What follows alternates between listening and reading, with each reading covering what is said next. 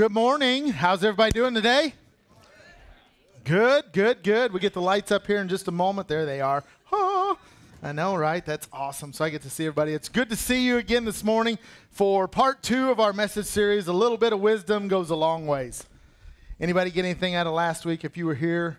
And uh, if you were not here, we actually are streaming that one live this morning, so you can jump back, watch that, catch up for this message series because it's going to be good. And I think it got to all of us a little bit. Um, how many knows that it's sometimes a little hard to be stretched a little bit out of our comfort zone? But I think it's good. I think it's healthy if we're going in the right direction. So when you came in this morning, you should have received a worship guide. If you have that today, why don't you pull that out? And inside there, there is some talk points for today's message, kind of that fill in the blank, take some notes have some different points here that we can go over. Hopefully, you can go back, study, look at them, and understand that I just don't make this up. It's actually in the Bible. Okay? It's in the Bible because I like to preach what's in the Bible because the Bible has the answers. If you ever have a question, let me just throw this out here from the beginning. If you ever have a question, you, you know, you, you go to other people, you can go to certain uh, people, uh, wise people like we're talking about. But the thing is, the Bible has all the answers that you'll ever need. You just got to look for it, you got to pray about it, and God will show you. Amen? Amen. So, uh, you can also follow along with us on the YouVersion Bible app. Those of you that have that, it's such a cool and awesome tool that we can use. Uh, click on events, bottom right or left hand corner, and then you go to the Bridge Church Live. It will have our notes in there as well. You just got to save them at the end of service if you want to keep them and look back at those. But part two of this series, a little bit of wisdom goes a long ways. Um, oh, yeah, Father's Day is next week. I know Michael mentioned that. You don't want to miss next week. So, fathers, come grab a ticket when you come in. So, we're going to give away something I think it's really cool. Maybe not be cool to you, but I want one. I don't have one, and I don't even get a ticket. So I'm a little bit upset, but I'm going to uh, celebrate with whoever gets it. We'll just you're just to have to invite me to go with you so we can use it. That's how this is going to work. But we've had a theme scripture for this series, and we'll have it throughout the remaining part of this series. And it comes from Proverbs chapter 4, verse 7. If you have your Bibles or YouVersion Bible app, or they'll be on the screens, um, it says, Wisdom is supreme. When you think of supreme, means it's up there pretty high, right? It's something that we should strive for, try to get. And that's why it says, Therefore, get wisdom, though it cost you all you have. Get understanding. You know, I figured out uh, what that means that it cost you all you have. I think I had that revelation that it's going to take your whole life to figure it out. You don't get all this wisdom, it comes through experience. And last week we talked about all the gray hairs that you get. We, I've always said, oh, you must be really wise. No, my kids are just really good. but in other words, if we can get wisdom, everything in our life is going to be better. It's going to be better. I think all of us, and, and if you don't, um, that's okay. We'll pray for you. I think all of us want to do better. We want to be better. I, I know that in my prime, which is starting to diminish, the um, I like to play golf, and I, I I started out and I was pretty horrible, pretty bad. And as I, I, I, kept working at it, I kept, I kept trying, I kept practicing, I kept doing it, even in my spare time. Did you know that you actually, when you get better at something, it's not when you play it, it's when you do it when nobody else is looking? Any baseball players, football players out there? I just want to give you that little tip. Basketball, you're going to be so much better if you practice without somebody pushing you on the side. You're going to be better if you do it when nobody's looking. Workouts. Same thing. I'm going to just share this real quick. It's probably in here, and I'm going to go same thing works with God. The same thing works with God. Just because you come to church, He's wanting us to do it on our own, at home, when, we, when He doesn't see us. That's how we're going to spiritually grow. That's how wisdom, okay, I'm going so far ahead of myself. Come on back. I want to be a better hunter. I've had a really bad run here the last few months or years, and I'm like, okay, what do I need to do different? What do I need to do to make some adjustments? Do I need to spend more time here, spend time there? Uh, I want to be a better fisherman. I'm talking about all the important stuff in case you were wondering. because that's, that's, that's, that's what's important. But it's hard. It, it takes a lot of work. You got to put in a lot of time, a lot of effort, a lot of things. But seriously, how many of you want to be a better parent? In your hearts, you really do. And then you wake up some days, you're like, wow, I'm really not that good today. I need to get better. Uh, or a better spouse, or a better friend, or a better employee. But why does it seem like there's a lid or a ceiling sometimes? We reach a certain plateau. I can relate this back to golf because I reached a certain plateau and I'm like, I, I feel like it just can't get any better. So what do you do? You give up or you quit. You, begin to say, well, this is, this is who I am, this is what I'm like. Uh, it's not going to change, so why keep trying? That's not the way this works. And I want to encourage you this morning with the wisdom of what we're going to do. Last week we talked about uh, different types of people and how the wise are people who are teachable. Anybody want to be teachable? Anybody think you're hard to be teachable? Don't raise your hand. You're not very teachable? but today we're going to learn together how we can be teachable, how we can be pliable, how things can speak into our lives. Because Proverbs shows us in the book of Proverbs, in every area of our life, no matter how old we are, no matter what we look like, it doesn't matter that we can grow. All of us can grow. We can push ourselves. If, there's a big IF right there, if we are teachable. When you're that person that says, I got it all figured out, that's a good sign that you're probably not teachable, and we need to work on some of that. But here's what I've discovered a learner, and that's what our, our, our message is going to be today, is a learner needs to be a listener. A learner needs to be a listener. But that's really hard, okay? When you're always talking. You know who you are. You do. How many of you are, again, no raise your hands because I don't want you, you wouldn't do it anyways, but how many of you are guilty of speaking foolishly? Ever stuck your foot in your mouth? I'm raising my hand because I do it probably more than I need to. But it's, it's crazy. It's foolish talk. But look what it says in Proverbs 10 and 8. It says, The wise are glad to be instructed. I love the second part. But babbling fools. Anybody know a babbling fool? You ever seen one? You ever been one? It says, Babbling fools fall flat on their faces. Ah, Man, I've been on my face a lot. Or that person, uh, which I'm sure that it's not anyone here or nobody watching, but that person, and, and if you want to write it down, it's the know it all. You guys ever encounter a know it all? Doesn't matter what you're doing, it's not right. They know better, even if it was the most efficient, perfect way to do it.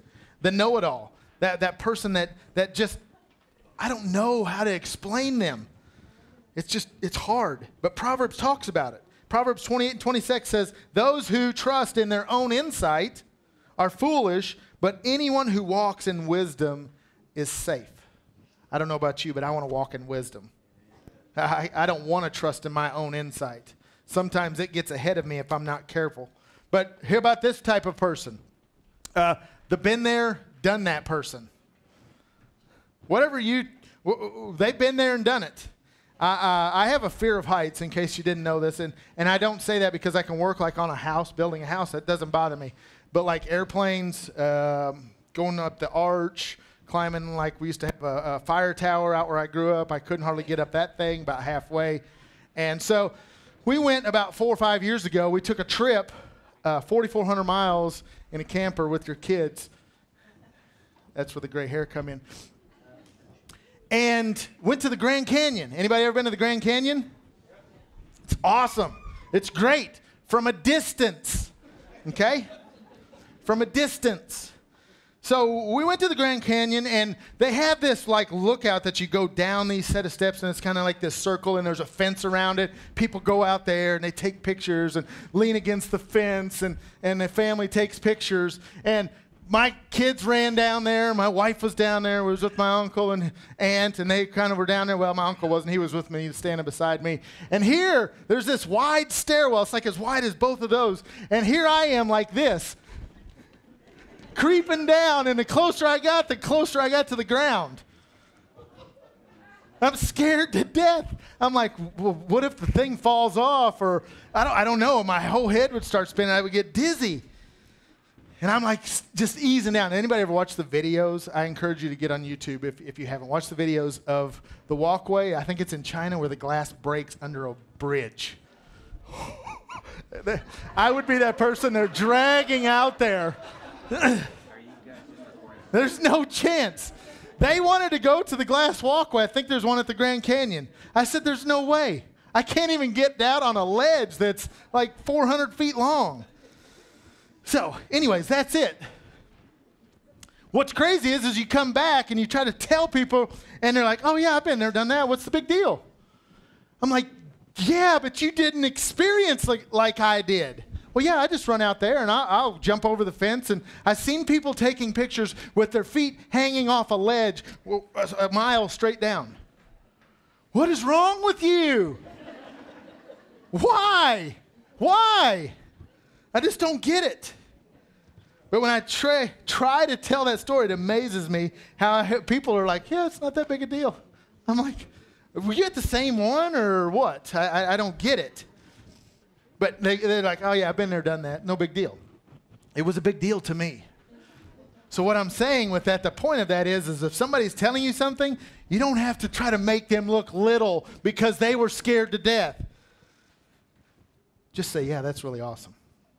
Proverbs 18 and 2 tells us that fools have no interest in understanding. So they're not trying to understand how I feel. They only want to air their own opinions. And then there's the type of person we talked about a few weeks ago in our message series called Staying Positive. And I know, and I've been around this, and I've probably even done it a time or two un, un, un, unconsciously or unintentional, and that's the one upper. The one upper. You could be like this. Well, man, you know, being around a group of people and, and you're telling a story.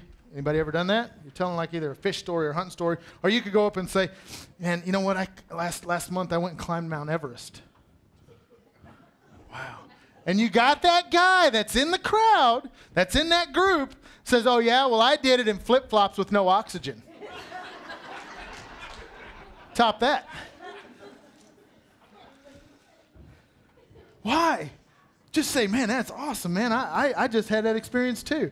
You don't have to one up them. But look what it says in Proverbs. He actually talks about those as well. Proverbs 12 and 15 says, Fools think their own way is right, but the wise, I love this. I want to be more like the wise, less like the fool. But the wise listen to others. They listen to others. They don't have to say something to come back or to chime in whenever somebody says something. I admit, I have a problem, okay? From time to time, listening. If you don't believe me, ask my wife and my mother. like when I come home from work or fishing, and my wife wants to talk to me and I turn into robotic mode. I should have a tape recorder that plays over the airwaves on like Alexa. Says, uh huh, yep, uh huh, yeah, I, I think so too. Uh huh, yep, yeah, whatever you think. I don't care. Where do you want to go? Because I'm not really listening. I've done checked out. It's in one ear and out the other, or it's hitting that blank wall, and it's just like, uh huh, yep, but here's the thing is, is I have to stop, and I have been working on this. You can ask her. Ask her. I have been I have to be intentional of stopping and focusing and saying, okay, let's talk. Like I have to focus so I can have a listening heart. Guys, it's probably more us than the ladies. I, I'm sorry. I don't know if it's something that we just are born with or what. Is it a disease? my grandfather, my dad, and now I have it. It's called selective hearing disease. I hear what I want.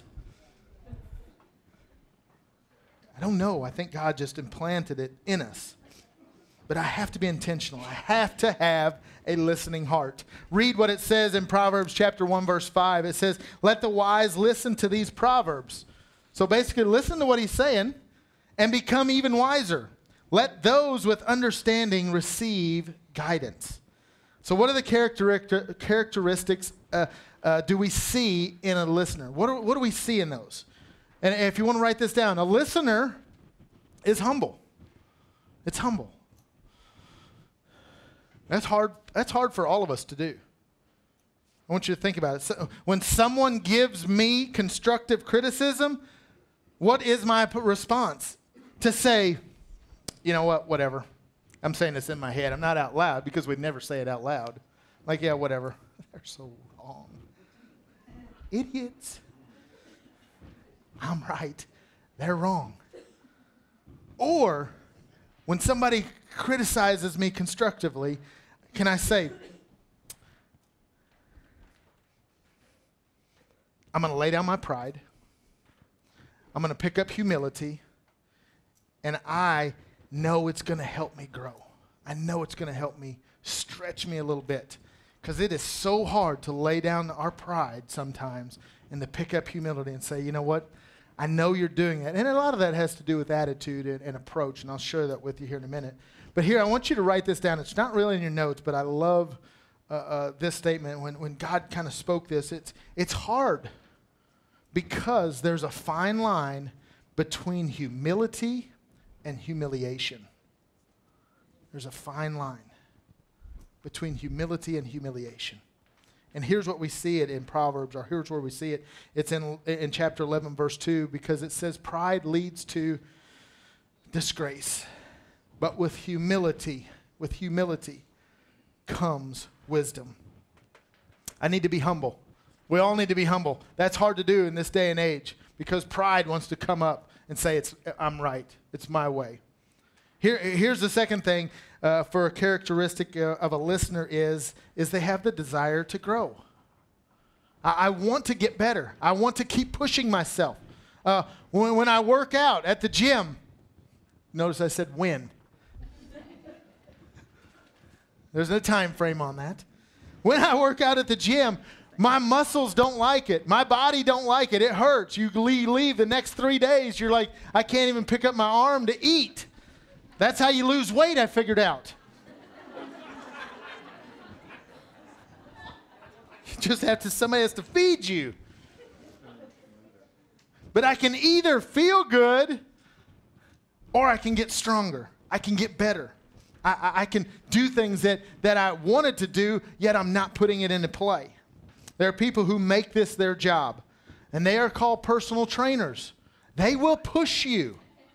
I had one about five years ago, six maybe, I don't know, seven. He was awesome. How long ago it's been? They're not nice. He pushed me to the point where I was about to see my lunch again. And he would yell at me and like push me and and and, and I'm like, dude, you're gonna kill me. I mean, stop. But I, I wonder what it would look like if, if we pushed ourselves that way spiritually, if we have a, a personal trainer or God or somebody in our life that's holding us accountable, saying, You can do better. Come on, that constructive criticism. It, it's going to help you grow. It's going to push you. What you're doing, where you're at, you probably shouldn't be doing that. You shouldn't be at that place. Push me, push me. I have people that tell me that in my life. And then I go, but I don't want to. But you need to. You need to. It's going to make you better. You're going to grow. I need that desire. Why? Because look what Proverbs 27 and 17 says iron sharpens iron. And I love this part. So a friend sharpens a friend. So iron may sharpen iron, but when you take two pieces of metal and you hit them together, what's going to happen? Sparks are going to fly. Think about that. Sometimes in our relationships with our spouse, with our friends, with maybe the pastor, or, or a, a leader in your life or authority figure, when they come against you and you hit iron on iron, sometimes sparks may fly. We may, you know, grind it out sometimes, but I promise it's not because we don't like each other, you don't like your friends, or you don't like your spouse. It's because we're trying to push ourselves to grow. We're stretching ourselves. We're sharpening ourselves. We're pushing ourselves. My wife and I do that all the time. The friction that you and your spouse have, or maybe you and your friend, maybe God's wanting you to get better. That's why sometimes that's there. So don't look at it necessarily as a negative, but look at it as, as I have the desire to grow, so I'm going to use that. I'm going to do that. My wife likes to get up in the mornings and, and do devotionals and studies and all that, and I like to do them in the evening, like before I go to bed. So sparks fly a lot of times, like, get out of bed. You need to get up and get in here. And I'm like, no, you need to do it at night when you're in bed at 8.30. And I'm up at 10 with nobody around. But it, it, it's kind of crazy how some of those things, but you got to kind of find that happy medium. Instead of fighting about it, we are learning to get through it and adjust to each other's ways of doing things. And the last thing that a listener does is embraces correction. When somebody corrects you, when somebody speaks into your life, says, you know what, you probably need to work on this. You need to do something a little bit better. It doesn't come natural to say, okay, sure, whatever you say. But I want you to understand correction is not rejection. Correction is not rejection. When someone corrects me, it's easy for me to take on that victim mentality. The enemy wants us to interpret it like that. Like I'm a horrible person. Oh, they must just not like me because they've gotten on to me or said something to me. Or I, I, I could even say this to myself if, if I hear something negative, well, I, I shouldn't even preach again.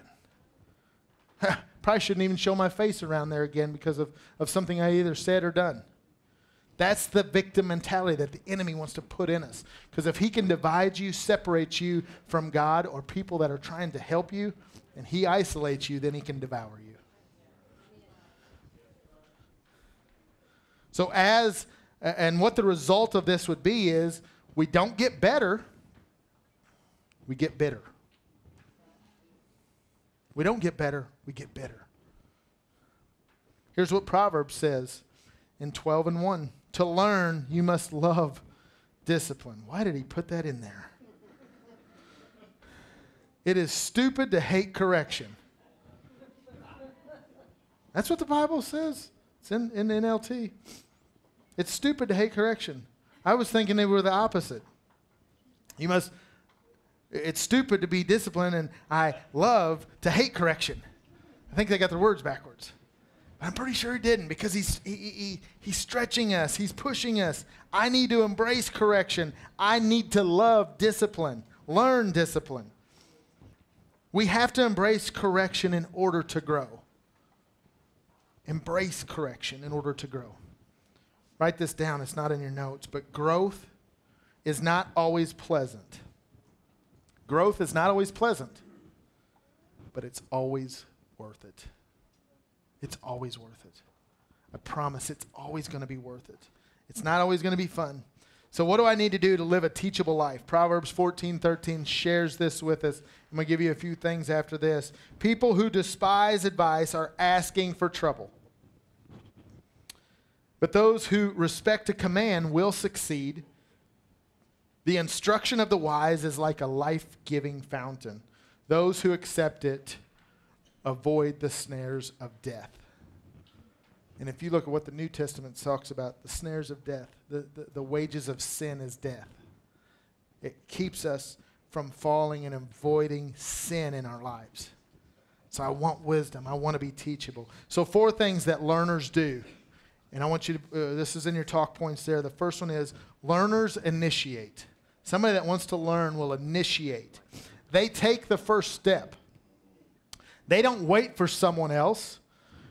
When, when, when you want to learn about something, when I, when I do something kind of like what I was talking about in, in, in sports, you take the initiative. You initiate that first step to say, okay, I know that this is what I'm going to do, but I want to go above and beyond it. I want to push myself a little bit farther. And what happens is, um, we have to be careful not to be jealous or envious of someone else's success that may be ahead of us in life because we can take on that just as easy. But ask somebody, somebody that's ahead of you, somebody that maybe is more successful than you, somebody that looks like they got their whole life put together, but I promise the chances are that they don't. So don't always look so far ahead of everybody else. But listen, do this. Take the initiative. Say, what can I do? Can you help me to maybe be better? Maybe be more successful. You see somebody that's spiritual or somebody that has a deeper walk with God. Don't look at them and say, well, I wish I could be like that. You can. But initiate it. Step in and say, you know what? I, I see that you do this and this and this. What can I do to be better? How can, how can I be better at this? Don't be intimidated from it. Uh, uh, James is actually like Proverbs in the New Testament. It's, it's kind of the, the Proverbs of the New Testament, and it talks in James chapter 1 and 5 if you need wisdom, it says, Ask our generous God, and he will give it to you. He was saying the answers are right here. Ask God, pray about it, read in the Bible. What does it tell you? He's going to give you the answers and He will give it to you. But we have to ask questions. What can I do? What, what can I change? A lot of it is what happens is, is we have to initiate change in our life. And we don't like that. I don't like it. But making some small tweaks, it doesn't mean you have to flip your life upside down. Some people need to. But some of us that have been walking on this journey and we know God and, and we're continuing this journey, we need to make some small tweaks, some small adjustments in our life.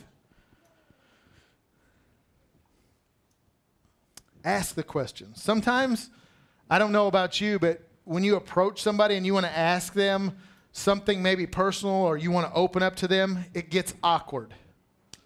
You don't know how to start the conversation. And you're always afraid that somebody's going to make fun of you because you asked a stupid question.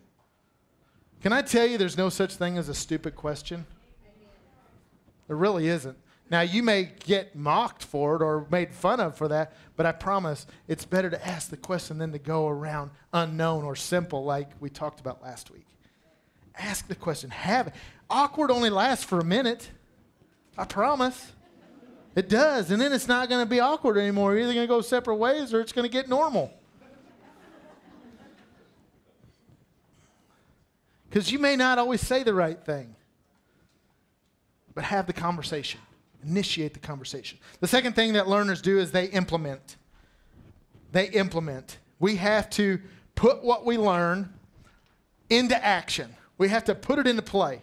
We can't just say, yeah, man, that's good. That's awesome. We should really do that. I should really be a part of that. I need to get in that connect group. I need to do something like that and just talk about it because if I don't put it into action, I'm not really putting it into play. I'm not implementing it in my life. And then change doesn't ever really happen. And then we go full circle to right back to where we were. James writes again in verse 22 of chapter 1 Be doers of the word be doers, not hearers only, deceiving yourself. That's that full circle. Doers, do it, do it. Put it into play, put it into action. It's kind of like I talked about golf earlier. And I hate that game. and I've been doing it for 20 years. But I remember that it is implementing things. If I would watch somebody or they would tell me how to do something, and maybe I was at the driving range or actually on the golf course, and they said, you know, change your grip just a little bit. You're, you have got too strong of a grip. You know, you need to open that up, bring it. And, and they show me that, but then I get back up there and I do the same thing. I'm all, I didn't change anything. I didn't implement. I didn't put it into action. So then I'm like, well, nothing's happened. Well, you didn't change anything. You didn't do anything different. You didn't put it into play. Or swinging a baseball bat. For, for, for those kids, you're supposed to line these knuckles up, is what they tell me. But then they get up there and they do this, and then they can't hit the ball or they pop it up or ground it, and, and they're like, well, this is stupid. This game's just dumb. I'm quitting. Well, you're, you're not doing what you've been instructed to do, what somebody's told you to do. That personal training, that, that spiritual person in your life tells you to, to make an adjustment, and you don't do it, and then all of a sudden you go back to the same way, and then you're like, well, nothing's changed. That's because you're just hearing it You're not implementing it. You're not putting it into action. And what is crazy is, as, as I got better and I began to listen to people playing golf, and over the years, I mean, I was terrible at first, probably a 90 plus round shooting golf person. And I mean, if I could break 90, I was really good. But then I got better. And as I got better, guess what? I began to like it. And then I got better, and then I liked it even more. And then I got better, and then it was five days a week better. And now I've got two hole in ones. I've done crazy scores before uh, playing golf. And, and, and it's like, okay, I've reached that lid. Now what? I keep pushing myself, keep pushing myself. Now I've quit. Because I, I want to do something better. I want to do something more. I want to push myself more spiritually. But my point of this is, is keep pushing yourself. And as you do that, the more you do it, the better you get, the more you're going to like it, and the more it fits in. The more you read your Bible, the more you pray, the more you dedicate time with God. I promise, in the private time, not necessarily at church, the more you're going to like it, the better you're going to get, the better life's going to be, the easier it's going to get.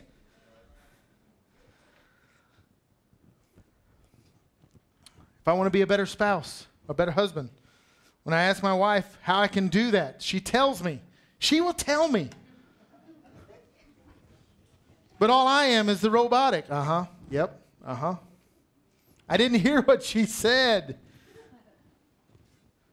But when I actually show up and listen and focus, and I bring her flowers, and I bring her chocolates, and I bring her a card, don't forget the card. It doesn't, none of it counts without the card. It's going to make my marriage better. Anybody ever heard that, that phrase? I think I even heard it yesterday. Happy wife, happy life. There's some truth in that. But it takes some initiative. It puts it into action. Just because I hear it and I don't do it doesn't make it okay. Stop. Learn from your mistakes. Make some changes. Things that you do in our everyday life will, will, will actually affect us both physically and spiritually.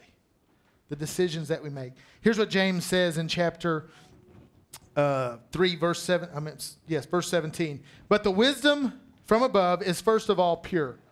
It's also peace loving, gentle at all times, and willing to yield to others. That's a tough one. It's full of mercy and the fruit of good deeds. It shows no favoritism and is always sincere. I want the wisdom from above. I want God's wisdom in my life. I don't want to be the person that says, you know what, I got this all figured out. Because ultimately I don't. I'm fooling myself to say that I got this all figured out. We become more like Jesus as we learn. And here's the thing that I want to encourage you this morning Improve, improvement, change, it, it, it takes time. Sometimes the season takes longer than we want it to. It, it, it, stretches out. But it's not a it's it's a season not an overnight thing. It's a journey. When, we, when you hear us talk about a journey, this, this walk with God, sometimes I feel like we've been pushed that this is a sprint. See how close, how far, uh, how, I need to, you know, do all this, this, this, this, and I'm overloaded my circuits. Then all of a sudden I get overwhelmed. And so then what I do is I back right back out and say, wow, I can't do that. I can't live like that. I, I, that doesn't make sense to me. Understand that this is a journey, it's a process, it's a season. We have to be okay with the season of learning. It's more important than our emotions or our feelings. Encouragement feels good, but I want to show that correction fosters growth. Correction. And the last thing I want to share with you number four, learners inspire. They inspire. James 3 and 18 says, And those who are peacemakers will plant seeds of peace and reap a harvest of righteousness. I want to plant the seeds of peace, of wisdom, so I can get better in my life and, and hopefully inspire someone else to get better. It doesn't, doesn't just make our lives better. but also those that are around us.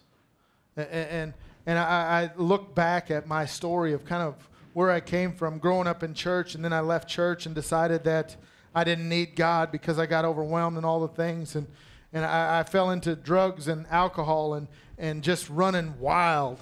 I mean, wild. And, and, and I look back, and if it wasn't for God, it wasn't because of me, it wasn't because of anything that I did. It's because God reached down and He saw me where I was at. And He was like, I've got so much more for you. There's something so much better in your life. I've got something that I'm going to use you to help and hopefully inspire somebody that you can make it too. You can do it in this life. You can get through this no matter what you're hung up in. If you've got problems in your life, then there's things that just doesn't seem like there's no way out. I promise you, God is with you. He can do it. If I can do it, if Rocky can do it, you can do it. I promise you can do it. When we share the same, uh, when we share wisdom, it has to be with the right approach, the right attitude, and that's going to help that person grow. If I can do it with the right approach.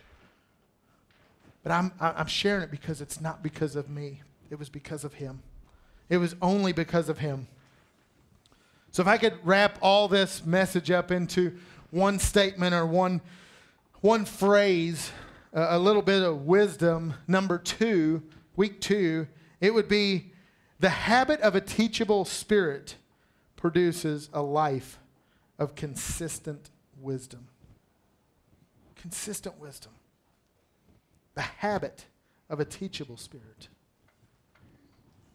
Why does it seem so hard sometimes to be teachable, to be pliable, to be stretched?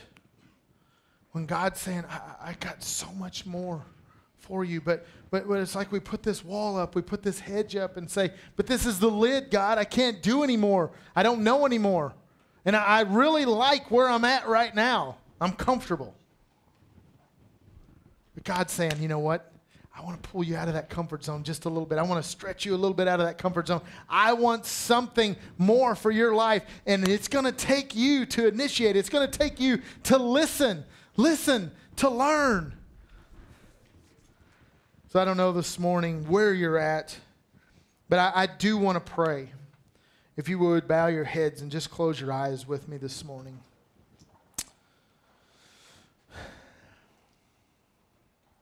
I want to pray God just does something in our lives, all of us, each and every one of us, including myself. God, I pray that you would, and every person here today, God, that every person, including myself today, God,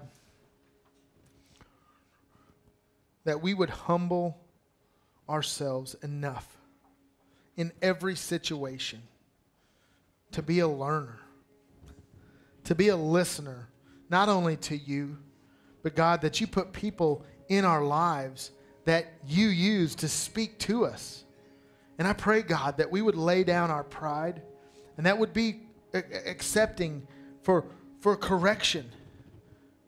Help me to have a listening heart that's humble, that's willing to grow, that's willing to stretch, that's willing to initiate, willing to push myself a little bit farther.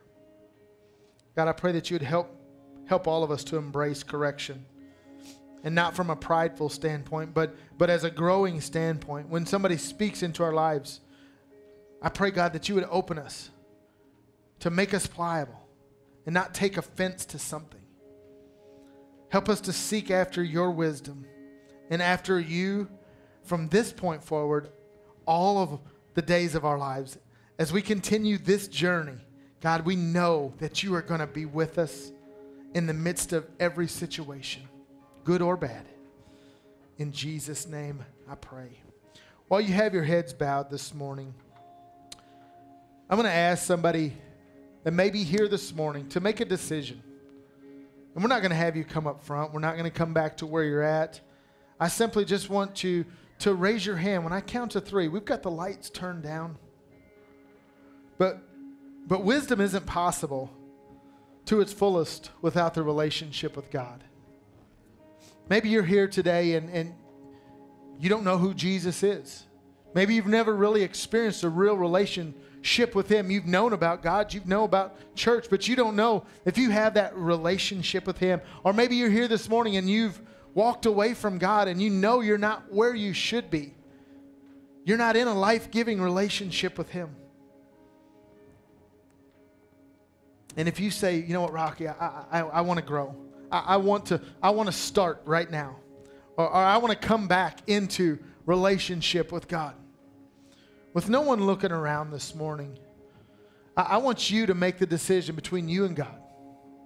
Not, be, not for me. I can't even see out there. God sees. On the count of three, I want you just to slip up your hand and say, you know what, that's me. I need to, I need to begin this relationship with God. One, two, three. Would you just be bold enough to say that's me? Say, that's me. God, God, God loves you. That's awesome. You can put your hand down this morning. And, and if, if, if you've never prayed or you don't know how to pray, you can say it in these words.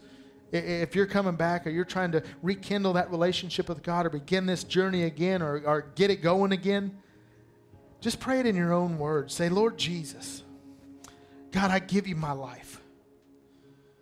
I, I make you the Lord in my life. From this moment, right now, is a new beginning, a fresh start. And I accept what you did on the cross when you died and you paid for my sins. I ask you to forgive me. God, I pray for a repentant heart to turn from the ways and the things that I was and have been doing, and I turn to you. I ask you to forgive me, to make me a new person. And I thank you for loving me first. Thank you for your unconditional love, your forgiveness. And I am committing to this relationship right now for the rest of my life. In Jesus' name, amen. Can we celebrate with somebody this morning? Why don't you give God a hand clap of praise? Thanks for listening to today's message. We pray that it strengthened, encouraged, and empowered you. We would love to connect with you, so if you have questions, need prayer, or simply want to let us know how this message has helped you, please send an email to info at thebridgechurchmo.org. To stay up to date with all the events at the Bridge, follow us on Facebook and Instagram.